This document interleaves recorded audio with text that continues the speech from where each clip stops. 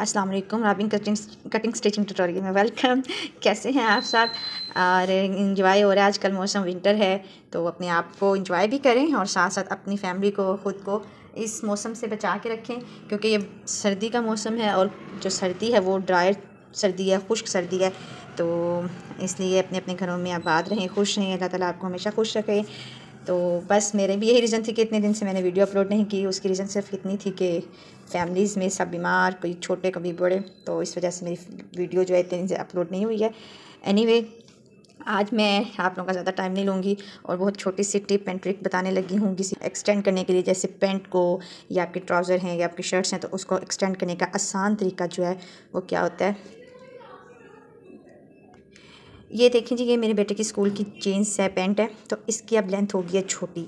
अब इसके अंदर, ये देखें जी, ये इसके अंदर फोल्डिंग है और ये फोल्डिंग है कम से कम ये टू इंचज़ की, ठीक है? ये टू इंचज़ की ये फोल्डिंग है। देखें, ठीक हो गया? अब मैंने क्या करना है कि मैंने इसको टू इंचज़ नहीं तो कम से कम ये पूरी पूरी है मतलब जब वो चलता है मेरा बेटा तो क्या होता है कि थोड़ी सी आधा इंच ऊँची है। तो मैं ये क्या करूँगी, इसको सारे को खोल के इसे ओपन करूँगी।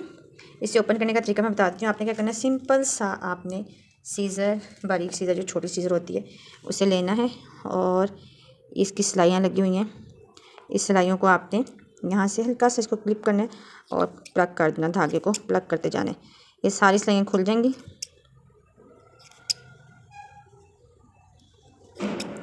ये देखें, ये ये ये, हल्की सी आपने धागा काटना है, कपड़ा नहीं काटना।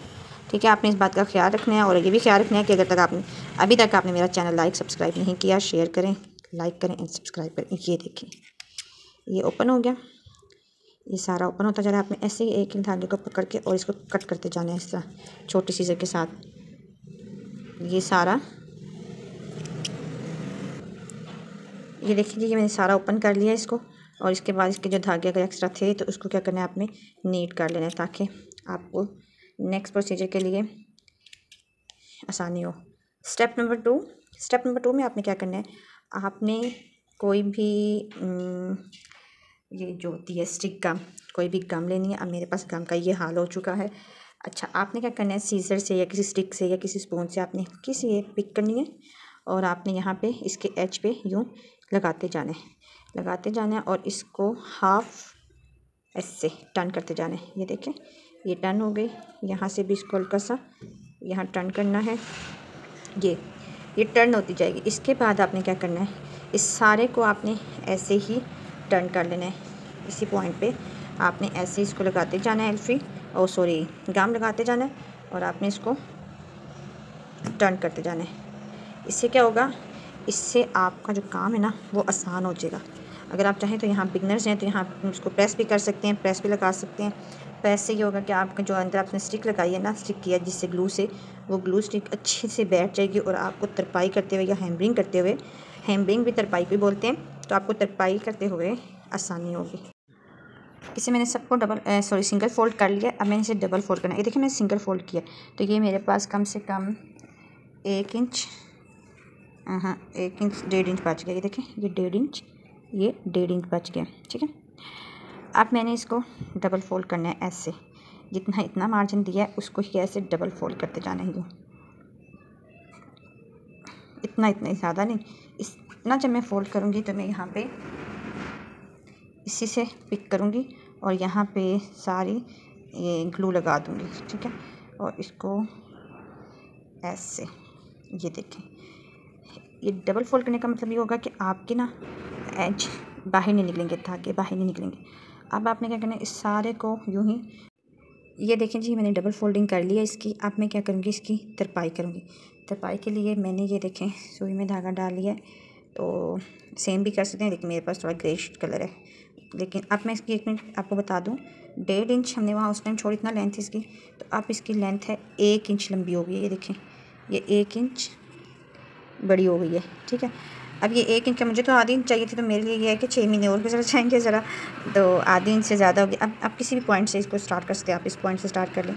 अच्छा तरपाई करने का जो है ना, इसमें बड़ा आसान तरीका है थोड़ा सा आपने यूँ धागा लेना और यूँ। ये देखें सिंगल धागा डालना है और बहुत जल्दी ये काम हो जाता है। ये देखें। और ये नीचे नज़र भी नहीं आएँगे ताकि आपके थोड़ा थोड़ा सा धागा पिक करती जाएँ और आप इसको बनाती जाएँ।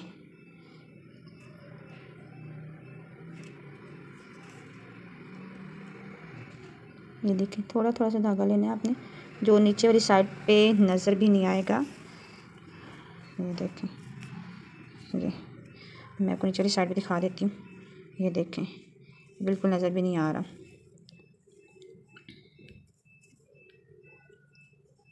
ये देखें हल्का सा। यहाँ से थोड़ा सा पिक किया, हल्का सा यूँ पिक किया एक धागे को। ये और और इसके साथ ही यूँ कर दिया। यहाँ से पिक किया और इसके साथ यूँ कर दिया। ये सारी तरपाई हो जाएगी। ठीक है? और ये इस तरह रेडी हो जाएगा। एक तो मैं फिर बता दूँ, तरपाई का तरीका आपने तरपाई पे धागा हमेशा इस साइड पे रखना होता है पीछे, जिससे आपने पिक किया हुआ है। और इसको यहाँ से पिक करना होता है, यूँ एक धागा लिया और इसको यहाँ से यूँ पिक किया। ठीक हो गया? अभी मैं सारी तरपाई कर लूँगी। तरपाई करने के बाद मैं इसको आपको इसकी फ़ाइनल लुक दिखाती हूँ।